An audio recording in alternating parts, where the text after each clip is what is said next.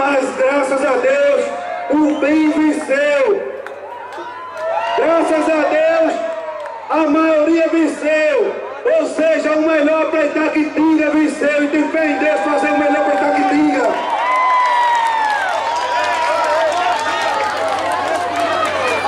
Meu muito obrigado, pessoal, durante a campanha, pelo que vocês têm feito com a gente, comigo e com o Neco, no Rua Rua, no Porta Porta, das festividades que a gente fez.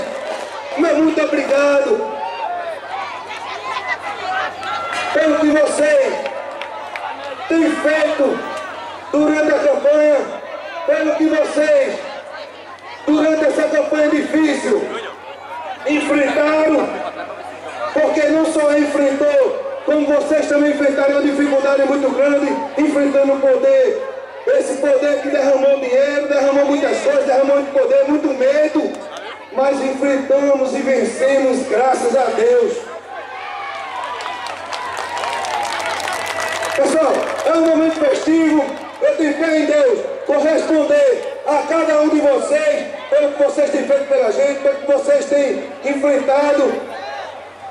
E eu tenho fé em Deus a partir de janeiro, a partir de janeiro fazer um bom governo, corresponder pelo que vocês deram pra gente. Essa confiança, então a gente essa confiança que vocês nos deu, nós vamos